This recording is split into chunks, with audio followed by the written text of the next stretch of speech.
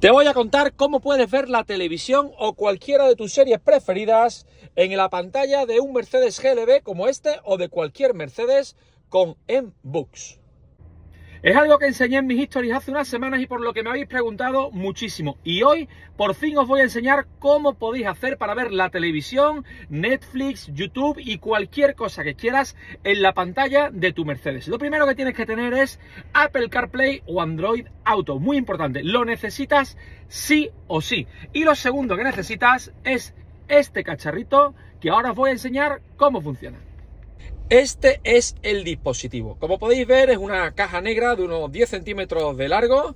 Tiene toma USB-C y aquí tiene una ranura para introducir una tarjeta SIM. Es importante, funciona tanto con una propia tarjeta SIM como yo tengo metida, como compartiendo la conexión de datos de tu teléfono móvil. Una vez que tenéis el cacharrito, del que os voy a dejar un enlace para que podáis comprarlo, es tan sencillo como colocarlo aquí, enchufar a la toma donde funciona el Apple CarPlay o el Android Auto, que ya sabéis que es esta, y esperar a que se inicie en la pantalla.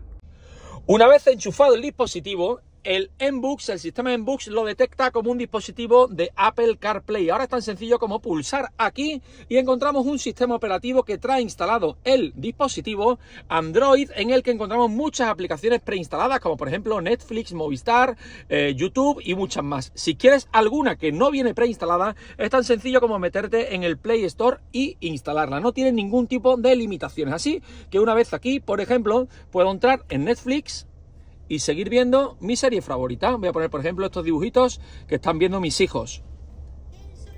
Aquí los tenéis y como veis, se ve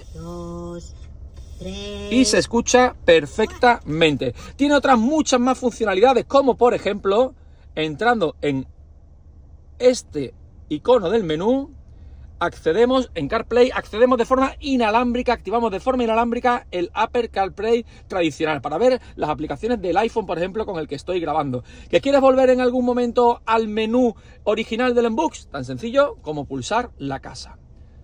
Os recuerdo, simplemente tenéis que comprar este dispositivo. Os dejo un enlace de compra en las stories y si las historias han caducado y estáis viendo esto en TikTok o en formato Reel, déjame un comentario, mándame un privado y te mando el enlace.